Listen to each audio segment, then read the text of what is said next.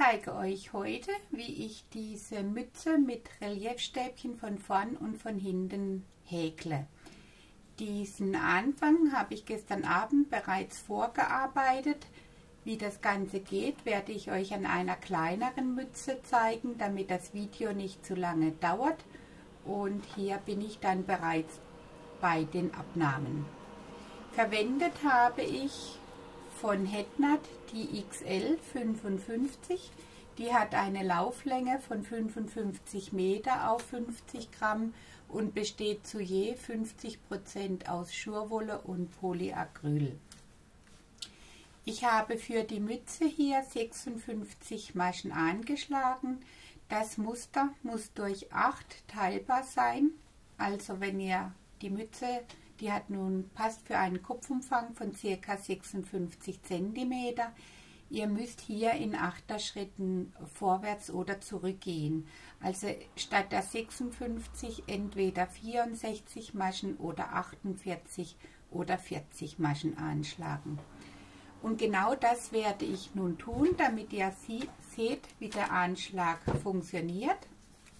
Werde ich nun 40 Maschen anschlagen und das wird dann eine Klein Mütze für ein Kleinkind werden. Aber das System ist natürlich gleich. Das dreht sich jetzt nur um das Video, dass das nicht zu lange wird. Ich schlage also 56, äh, statt 56 40 Maschen an.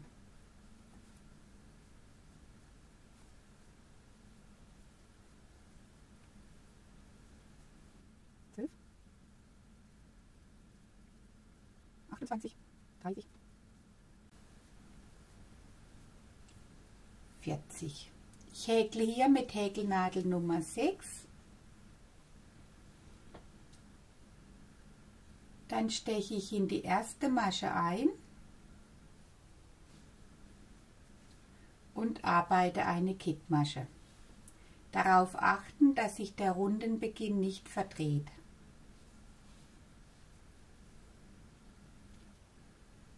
Nun drehe ich die Luftmaschenkette leicht nach vorn, leicht nach vorn, steche nun hier in die erste Schlinge ein und arbeite eine Luftmasche.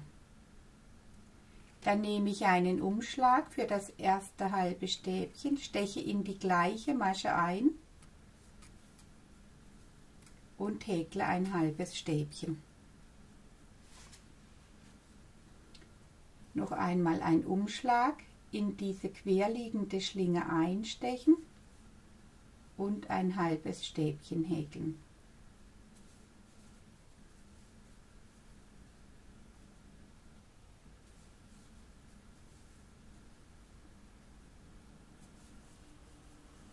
Hier ergibt sich dann eine schöne Kante, deshalb steche ich stets bei einer Mütze bei der der Anschlagrand dann vorne am Gesichtsausschnitt liegt, steche ich bei dem Anschlag in diese hintere querliegende Schlinge, weil mir einfach diese Kette hier dann gut gefällt.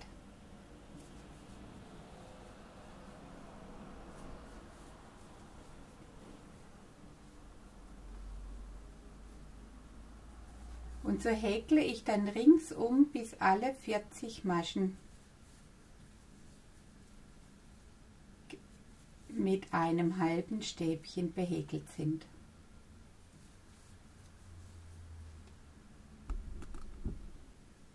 Ich bin nun hier bei der 39. Masche. Das ist die 40.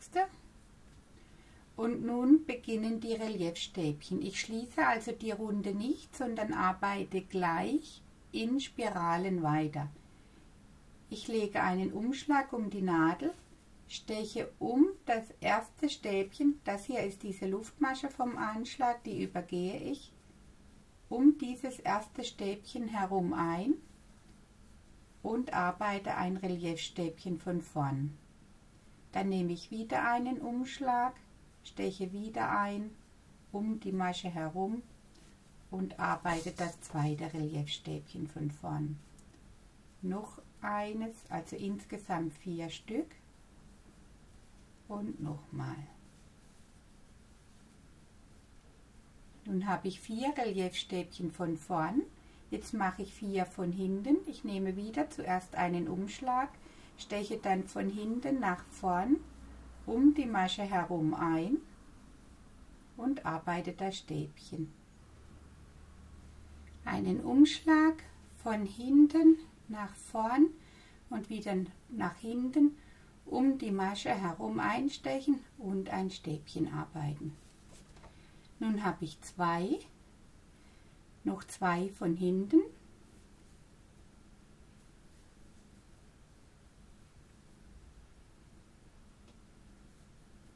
Und das vierte.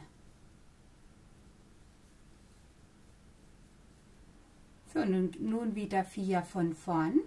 Also hier steche ich wieder von vorn nach hinten und wieder von hinten nach vorn.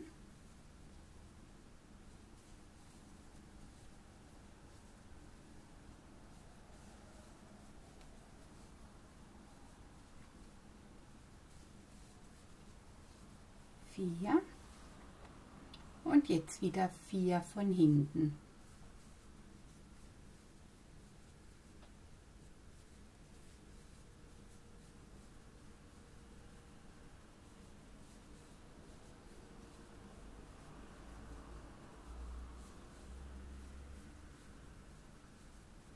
und wieder vier von vorn.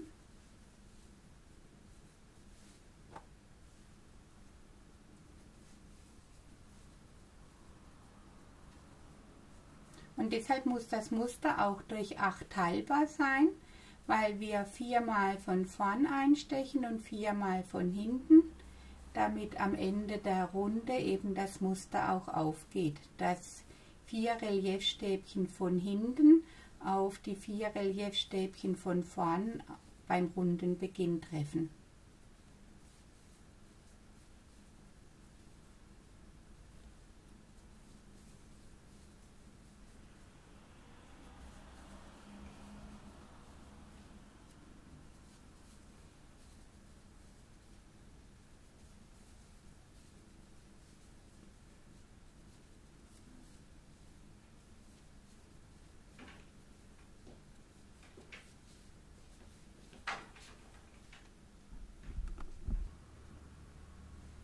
Einen Umschlag von hinten nach vorn und wieder nach hinten um die Masche herum einstechen und ein Stäbchen arbeiten.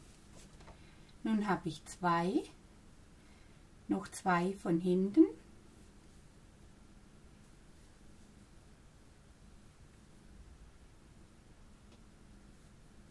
Und das vierte. So, nun, nun wieder vier von vorn. Also hier steche ich wieder von vorn nach hinten und wieder von hinten nach vorn.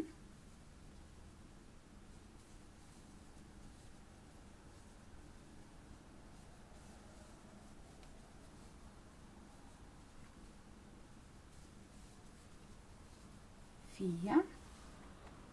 Und jetzt wieder vier von hinten.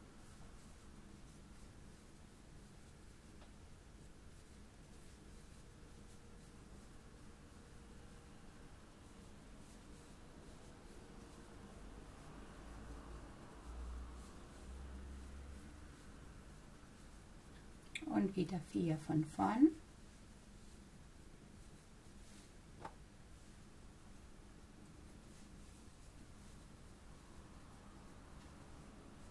Und deshalb muss das Muster auch durch 8 teilbar sein, weil wir viermal von vorn einstechen und viermal von hinten, damit am Ende der Runde eben das Muster auch aufgeht, dass vier Reliefstäbchen von hinten auf die vier Reliefstäbchen von vorn beim runden Beginn treffen.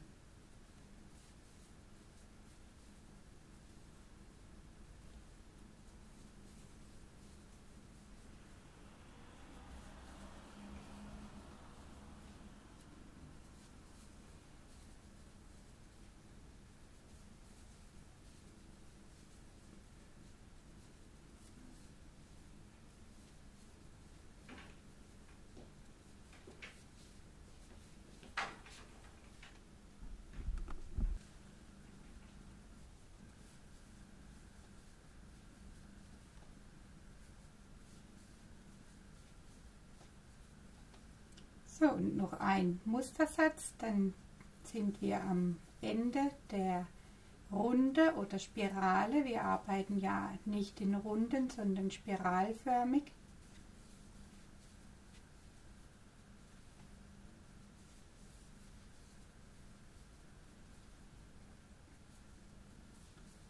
Also nochmals vier von hinten.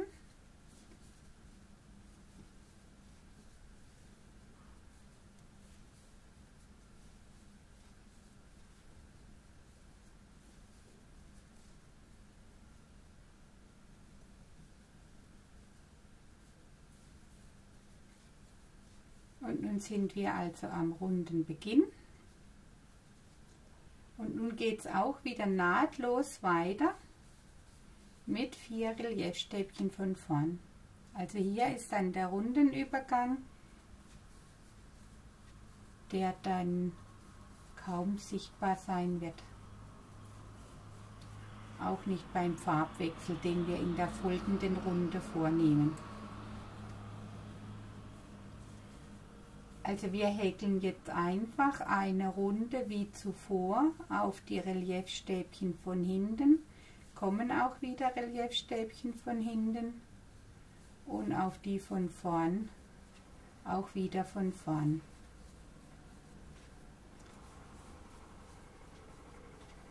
Und nach der, wenn diese Runde dann gearbeitet ist, werden wir die Farbe wechseln. Stets nach drei Runden wechselt die Farbe und auch das Muster.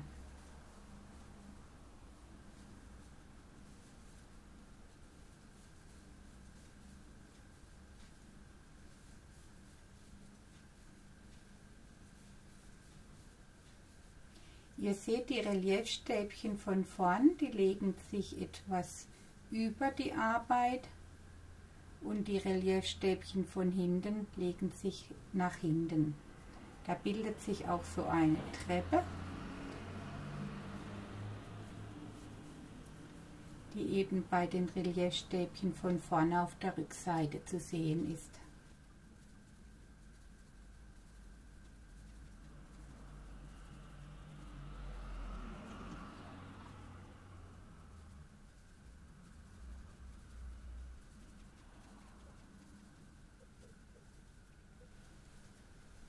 So, und ich bin gleich wieder am runden Ende und werde dann die Farben wechseln. Deshalb bei dem letzten Reliefstäbchen von hinten nur bis zum vorletzten Arbeitsschritt arbeiten. Also wenn noch zwei Schlingen auf der Nadel sind, wechsle ich bereits die Farbe.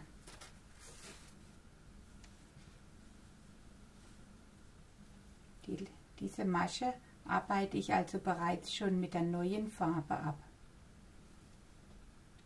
Und nun beginnen die Reliefstäbchen von hinten, also da, wo, wo vorher von vorne gearbeitet wurden, werden jetzt von hinten gehäkelt.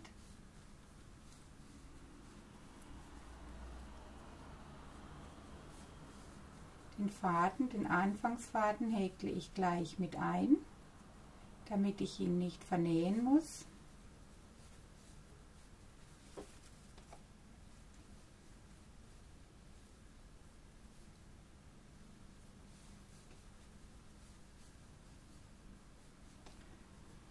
Habe ich vier und die nächsten vier arbeite ich jetzt von vorne, also auf die, wo zuvor von hinten gearbeitet wurden, werden jetzt die Reliefstäbchen von vorne gehäkelt.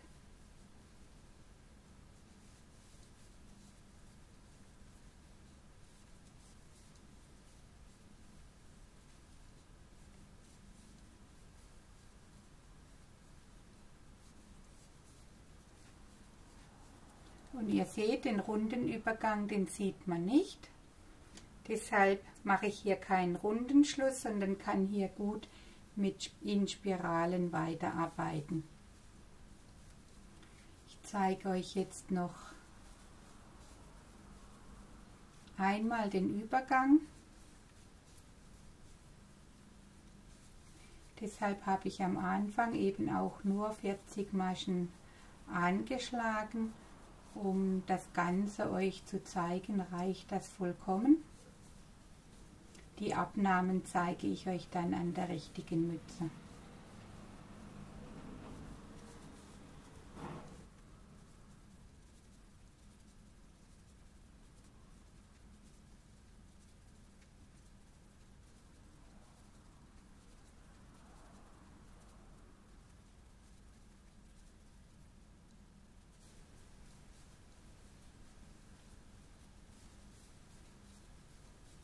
So, und nun bin ich bei den letzten vier. Hier habe ich eben zuvor mit Reliefstäbchen von hinten geendet. Jetzt ende ich eben folgerichtig mit Reliefstäbchen von vorn. So, und nun geht es auch ohne Übergang weiter wieder mit den Reliefstäbchen von hinten.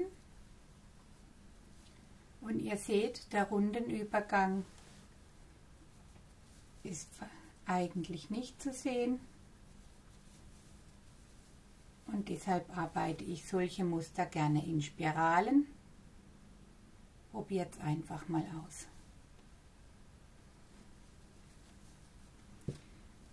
So, nun komme ich hier bei unserer richtigen Mütze habe ich nun stets drei Runden in Türkis, in Terrakotta, Türkis, Terrakotta und eine in Türkis gearbeitet.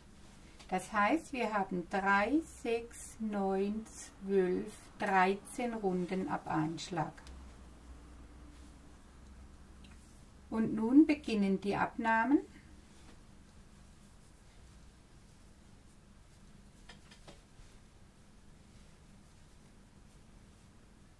Hier ist mein Rundenübergang und ich werde nun in jedem zweiten Kästchen eine Masche abnehmen.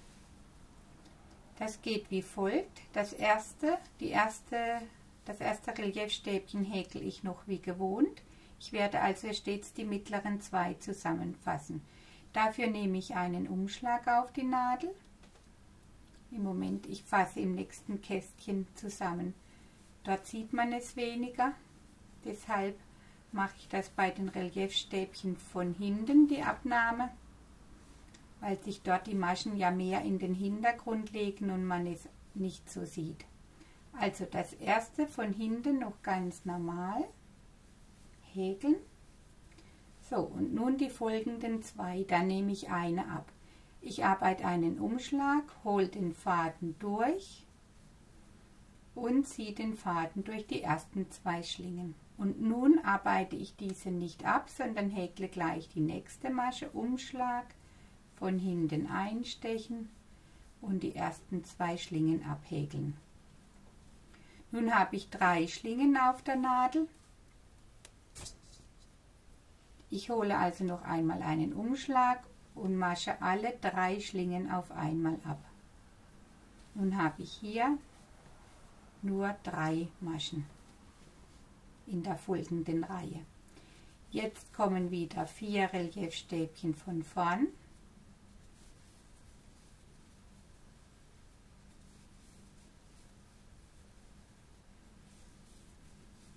Und in den folgenden nehme ich wieder eins ab. Das erste häkle ich wie gewohnt. Dann Umschlag, Faden holen und durch die ersten zwei Schlingen wieder Umschlag, Faden holen und durch die ersten zwei Schlingen und die drei zusammen abmaschen. Das letzte wieder normal, dann kommen wieder vier von vorn.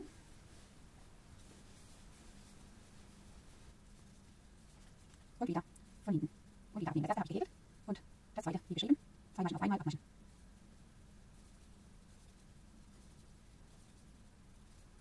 Verhäkle ich nun rundum. Hier nehme ich wieder ab.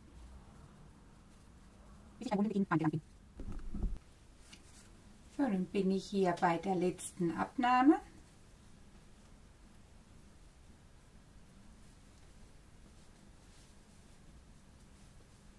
Ich masche also wieder zwei Maschen zusammen ab. Und nun bin ich an der Stelle, an der die dritte Reihe, Reihe oder Runde mit Türkis beginnt. Die ersten vier arbeite ich wieder ganz normal mit Reliefstäbchen von vorn. Nach dieser Runde kommt dann der Farbwechsel.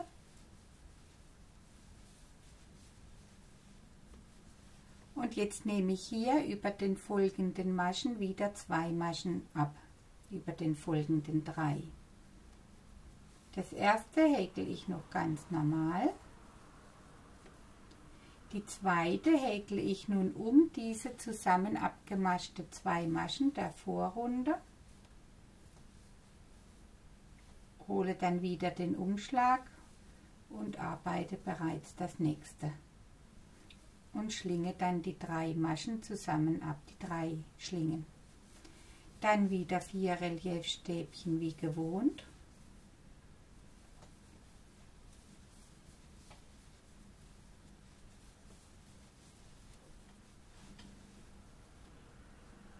Dann das erste wieder ganz normal, Reliefstäbchen von hinten häkeln.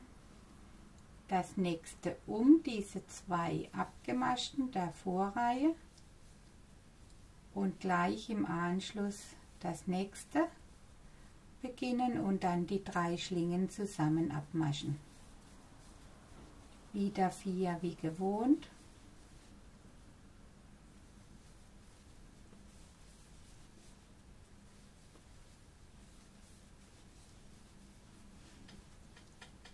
das nächste wieder normal von hinten und dann wieder um diese zwei abgemaschten der Vorrunde und gleich im Anschluss das nächste und alle drei Schlingen auf einmal. Und so häkeln wir nun wieder bis zum runden Ende. So, nun bin ich am Ende angelangt. Ich arbeite gerade meine letzte Abnahme.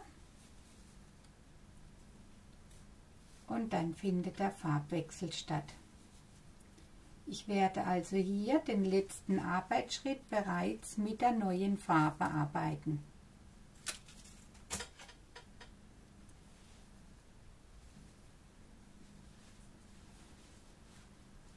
So, und nun beginnt sowohl der Farbwechsel als auch der Musterwechsel. Ich habe eben drei Runden. Nun werde ich hier über diesen Reliefstäbchen von hinten arbeiten und auch die Abnahmen. Das erste wie gewohnt, ganz normal.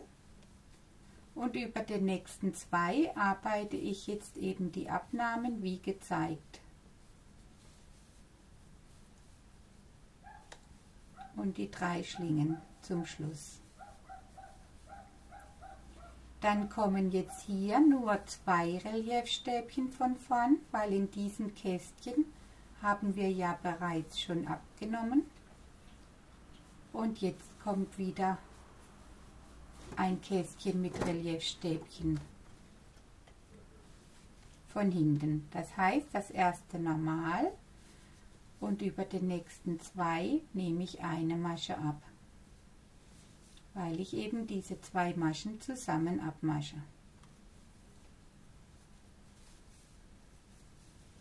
Dann kommen wieder ein Kästchen mit Reliefstäbchen von vorn. Ihr seht, hier umschlinge ich diese zwei zusammen abgemaschten Stäbchen von der Vorrunde.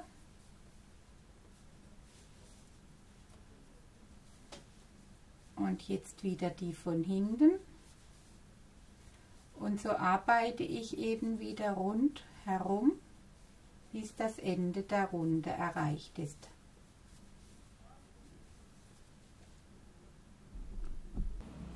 So, nun bin ich am Ende der Runde angelangt. Ich ende also hier jetzt mit zwei Reliefstäbchen von vorn.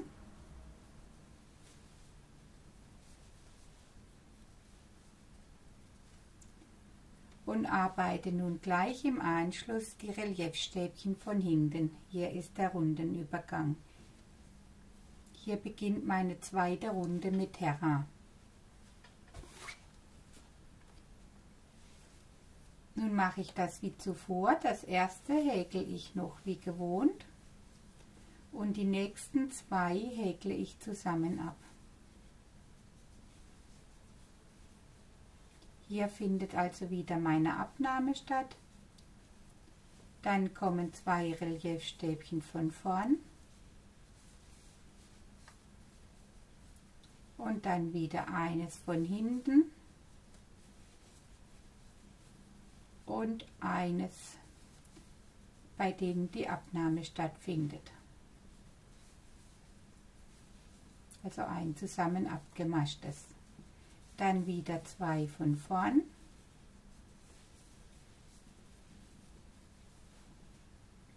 Und eines, bei dem ich als zuerst ein ganz normales Reliefstäbchen von hinten und das folgende wird zusammen abgemascht.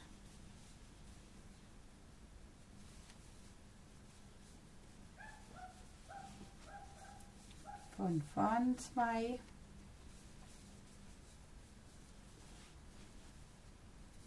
Eins von hinten und das folgende zusammen abmaschen.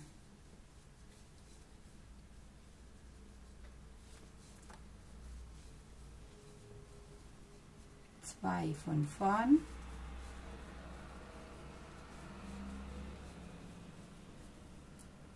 Eins von hinten und das folgende zusammen abmaschen.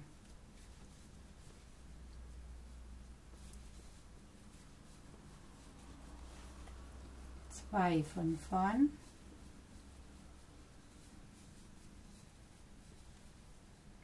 und das folgende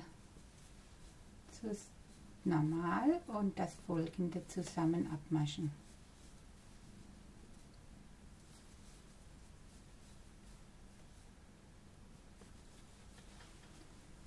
Zwei von vorn.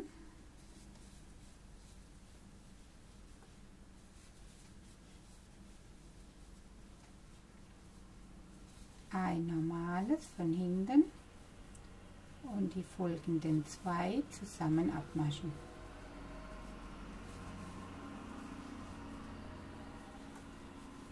Zwei von vorn.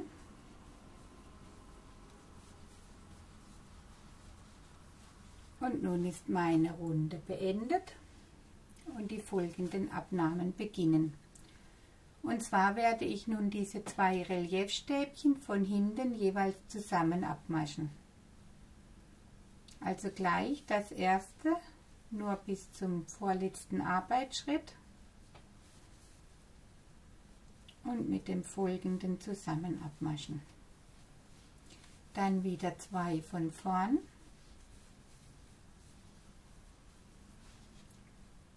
Und die folgenden beiden zusammen abmaschen.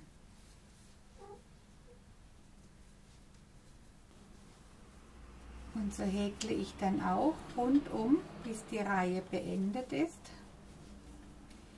Das geschieht jetzt stets schneller, weil die Maschen ja immer weniger werden. Wir haben am Ende der Runde je Mustersatz nur noch drei Maschen, also 21 insgesamt. Wir haben ja 7 mal 8 Mustersätze.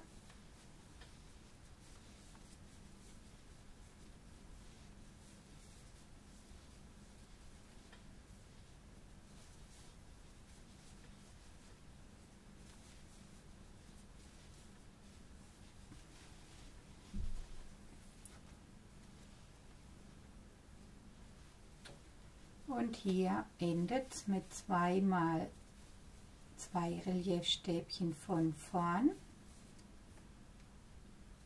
dass ich hier bereits mit dem nächsten Faden mit der neuen Farbe abhäkle. Nun beginnt hier die Reliefstäbchen von vorne, also um die zwei zusammen abgemaschten Maschen arbeite ich ein Reliefstäbchen von vorn. Und hier findet die Abnahme statt, bei den Reliefstäbchen von hinten. Also diese zwei masche ich zusammen ab. Da arbeite ich wieder eins von vorn und diese beiden masche ich zusammen ab.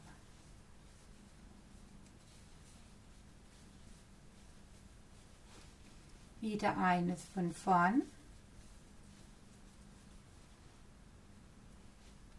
und diese beiden masche ich von hinten zusammen ab.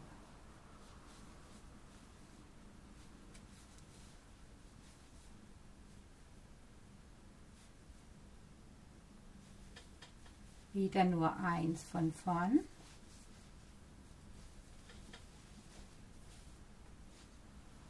Und diese beiden von hinten zusammen abmaschen.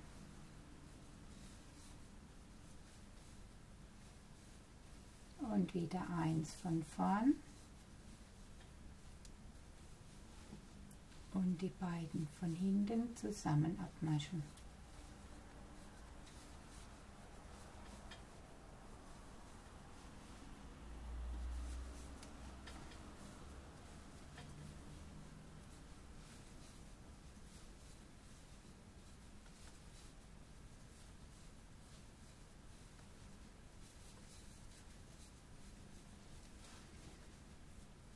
Und wir enden mit zwei von hinten zusammen abmaschen.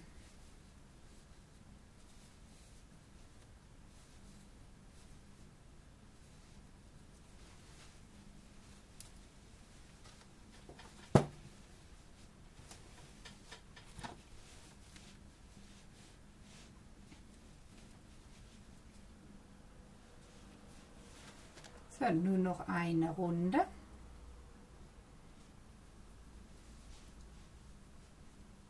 Und zwar werden jetzt fortlaufend zwei Maschen zusammen abgemascht. Das folgende Reliefstäbchen von vorn arbeiten und das nächste von hinten. Und die Maschen zusammen abmaschen. Das nächste wieder von vorn und das folgende von hinten. Und die drei Schlingen zusammen abmaschen. Wieder das erste von vorn und das zweite von hinten. Und zusammen abmaschen. Von vorn und von hinten.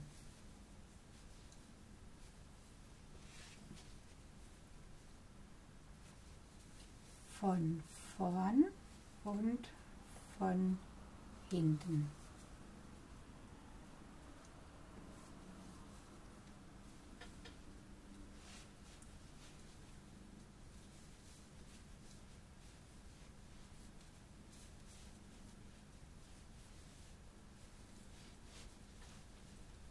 Und noch ein letztes Mal von vorn und von hinten.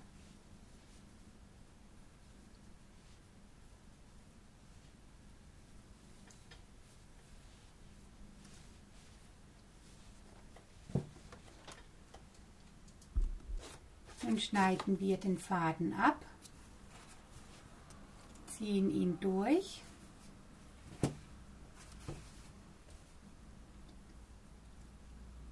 Dann lege ich ihn auf eine Nadel. Die andere Farbe schneide ich auch ab und ziehe sie nach innen durch.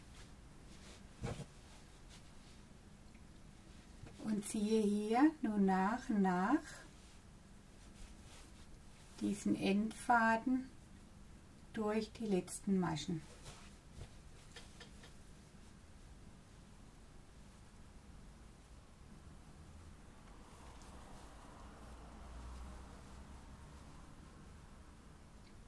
Dann noch eine zweite Runde.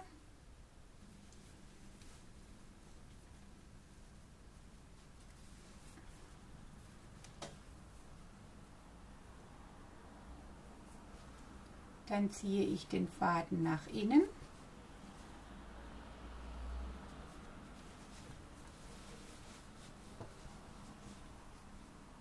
Und dort wird er dann vernäht. Und dann ist eure Mütze fertig. Ich wünsche euch viel Spaß damit.